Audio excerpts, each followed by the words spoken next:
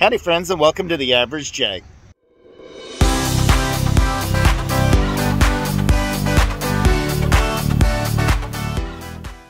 It is Saturday morning, or no, Sunday morning, and we needed to get some chicken food. Um, our Cornish rocks, we're going to switch them over to like pellets, but I'll grind them up a little bit. But I'm going to get them off the crumble.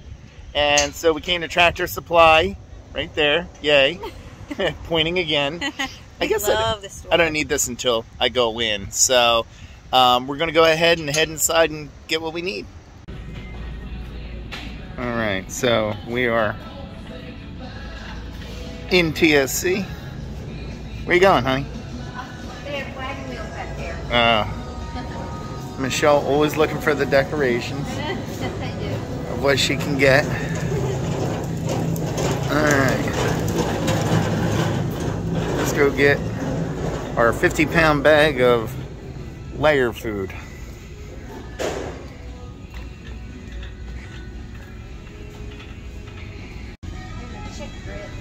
Uh, yeah, do me a favor, grab that.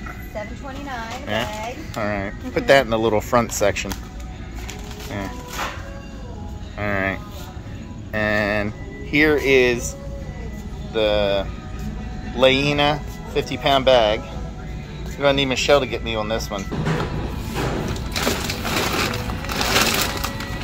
See, contrary to popular belief, I can still lift a 50 pound bag. they have a good section of horse stuff. I see heat lamps on, so I think they got some kind of birds today. Let's see. Oh, Cornish rock. Yep.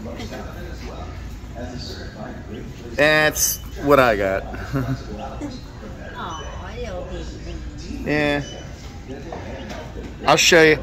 I'll show later in the video what kind of Franken chickens they turn into. yeah, they do. All right, there's the Franken chickens.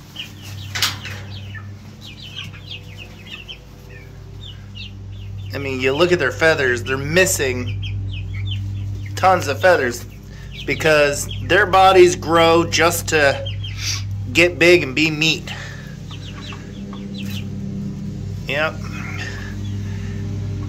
And I just filled that food this morning, almost to the top, and it's empty now. But that's the Franken chickens. Oh. What's that?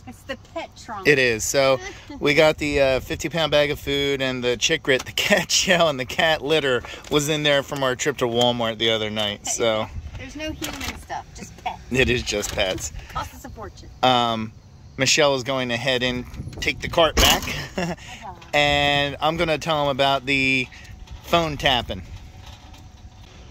Just recently started using my phone as like a payment source. You can tap. I used, we got the new bank cards, um, Alex, Michelle, myself, and it is the tap kind. So I mean, you can insert, you can swipe, but but you can tap, and it's you know really convenient, um, very easy if you're going to use the card anyway. But now you can use your phone, and I, I mean you've been able to use your phone for a while. It's just I, I never did it before and never thought to do it, and I've done it a couple times now, and it is very convenient rather than pulling out my wallet, pulling out the card, swiping it through. I literally just put my phone right onto the little machine and it works. So, works out good, right, Michelle? Good. All right. Now we're going to go home and start getting, I know it's first thing in the morning, I'm going to start getting everything out for dinner because we're having pork chops. They were in the freezer. I need to take them out so that they thaw by the time we cook. And I got a few things to do with the chickens today, a little bit of cleanup, kind of clean out their bowls. But then I'm going to uh, vlog making dinner. I did last night with the steak dinner. Tonight I will do the thick pork chops, but they are going to be on cast iron. They're not going to be on the grill. They're on cast iron. Had to make a quick stop in the shop, right? Needed coffee pods and pork stovetop stuffing. That's for tonight. Get the eggs without having to go in. Without having to go in, yeah. I have to go in in mine. So, um, Yeah. but yeah, you have a, a lot more birds than I do. it will go in. So, this is uh, Also in town, this is uh, my friend Lou. His uh, chickens in here. He has uh, quite the flock. They are a nice variety. I am limited to just two. And and over on the far side, I don't know whether you can see that beautiful rooster in the back. Oh, he is a he is a pretty thing. Uh, he, Lou, he's part Buff Orpington, Yeah, right? yeah. Yeah. So. That's his dad right there. The white one. Oh, okay. So the that rooster over there That's his dad. is his father. Wow, he's bigger than Daddy. but they have a good setup in here. Yeah. Now, I don't know what, where, where Puff's uh, hangs out. Maybe on the far side. They have plenty of play area out here. I don't know where they are. Got a mom and the babies over here. Lou hatched these himself. You can see all the babies laying down there. Are they laying? Uh, three of them are laying down. No, four, four laying down. So they're just kind of resting up. They had a busy morning. A lot of walking around. Well, they're up early, you know. Yeah. So Lou gave me four fertilized eggs, and you've seen in my videos before Broody Girl. So we're gonna go ahead and put some fertilized eggs under Broody Girl, and as long as the eggs weren't chilled, we think uh, we might be able to get babies like this. We'll see. So when I get home, we'll go ahead and set them under her and see what happens. We are going to take Lou's fertilized eggs, and like he said, you know, they, they sat out. Last night got pretty chilly. Nobody was sitting on them for like 12 hours or so. So they might be chilled. But we're going to find out. We're going to put them under Broody Girl and see what happens. All right. Oh, she's in there. Where else would Oh my she God, look, look. She's like a roosting bar on the ladder. Aww, Isn't that funny? cutie. All right. Broody Girl. Broody Girl, guess what we got? Guess what we got? We got some eggs to put under you.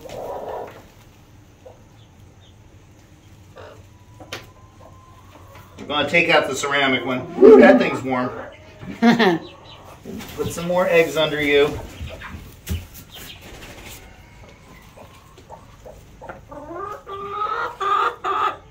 All right, there we go, baby. All right, so now four eggs, real eggs, are under Broody Girl. I may as well collect regular eggs while I'm out here. We got one, two, three. This is a fake egg. Four, five, six. And that's the fake egg. Woohoo! Everybody's in here. Holy moly. Anything in there? No, no, no, no. Alright, so I got six. That's it. Nice. Oh my. All right, so we put Quackity and Goldie, or as uh, Brittany calls it, George, in the garden to kind of take out on some of. We're done for the year for the garden, so we might pull a few more things out, but they're the only two that I really trust in here. They're the most well-behaved birds. We put one of the Buff fly? Orpingtons, and the Buff Orpington flew the coop, so I had to go get her in the yard, one of the Buff Orpingtons. So. Where'd you find it? No, no, no. And- in- put it in- So now it's just Goldie and Quackity. But they seem to be enjoying themselves. I'll keep an eye on them. Well, you know, but I don't think they're gonna fly put two away. Got done doing all the work outside, came in, got a shower, got changed, wearing my Disney Hercules shirt, which I said to Michelle, I said, oh, you know, I haven't worn this in a while. I think you shrunk it. I don't think it shrunk. I think I just got bigger. But we're going to go ahead and make dinner. Um, it's really a simple dinner. Um, it's pork chops uh, on the cast iron, stuffing, uh, pork stuffing, and uh, corn. So the corn is a very old family recipe that I'm uh, going to do. So it's, it's a few steps. So step one is take the can opener and uh, open the can. If I can do this. All right. That is step one. step two is pouring in a pan. and turn that sucker on as low as it can go. There we go. Old family recipe. the stuffing isn't an old family recipe, but you know, it's pretty hard to do as well. So in a pot, I have put one and a half cups of water and four tablespoons of butter. And I did that because that is the ingredients that Stovetop Pork Stuffing told me to do. The directions. The directions. so I am going to turn that on, boil it, and then once it's boiling, add the little uh, uh, bread pack, stir it in, and then after five minutes, fluff it with a fork. Can't go wrong with that. No, you cannot. I'm going to get that going right now. And last thing is going to be our pork chops. Now this is the only thing I'm actually doing from scratch. So we have some extra thick cut pork chops, two pork chops, and these things weigh 2.8 pounds, so almost three pounds. I'm going to rinse them off. Always rinse in cold water, never rinse in warm water. I don't know why I rinse still, because when you cook it, if there's anything on it, it burns it off anyway. I don't know. I think it's more just a mental thing in my mind. Eh. But we're to do that. We're to dry these suckers off. Um, I used to have a friend out in Iowa named Kevin. And Kevin um, one time sent me meats. And I didn't know. Iowa is a huge pork producing state. Did not know that. But he sent me what he called Iowa chops. And the Iowa chops were thicker than these. I mean, they were crazy thick. And really, since then, we never got the thick chops again. But when we were up at the commissary, we found thick chops a couple weeks ago. Tried them, loved them. So we're going to go for them again. So once I have them all cleaned up, I am only using one thing on these. I am using Lawry's seasoned salt.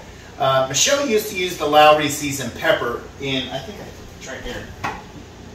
She used to use the seasoned pepper in salads and a whole lot of things, and I actually use the seasoned pepper to cook a lot with. But with the pork, pork is naturally kind of a salty taste anyway, so I'm going for an even saltier taste with the seasoned salt.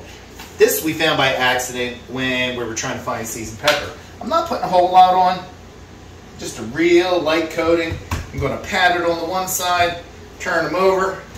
We're just going to put a little more on that side. And that's it. I'm just going to leave them sit. Um, like I did with my steak, my pork chops have been sitting out for a while so that they are at room temperature when I cook. Anytime I cook meat, I always make sure it's at room temperature before I cook it. All I'm going to do is I'm going to put a pat of butter on cast iron.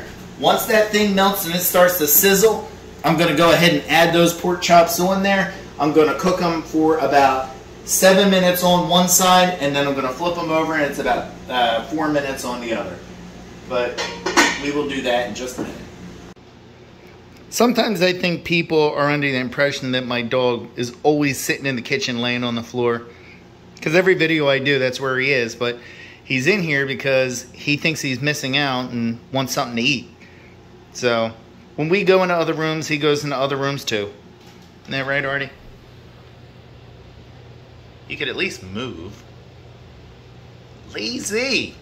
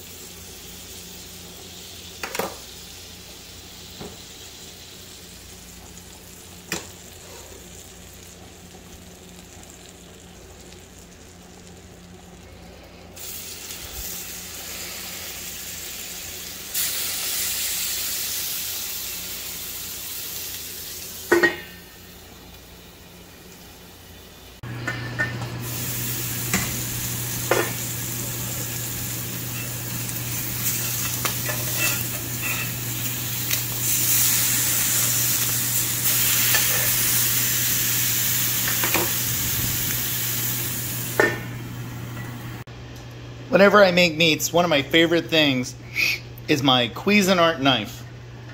Um, I got this from uh, Bed Bath and Beyond, I think it was, a couple years back, and it is a great knife, very sharp. I sharpen my knife, my uh, knife every time I go to use it, so uh, just a, a, honing. I don't do like a, a big sharpening, but I have like a little honing thing. But a good knife makes a big difference. All right, we're going to check the temperature. All right, well, we're at 142 and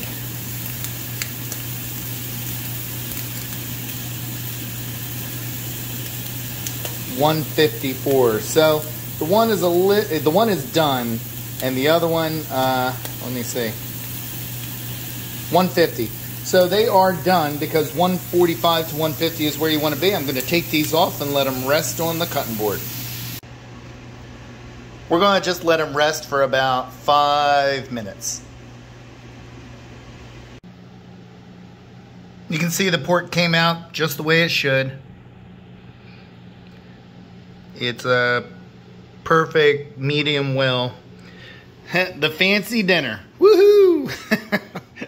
Well, the stovetop may be packaged in the corner, maybe secret family recipe. But these pork chops, woo That's some good eating.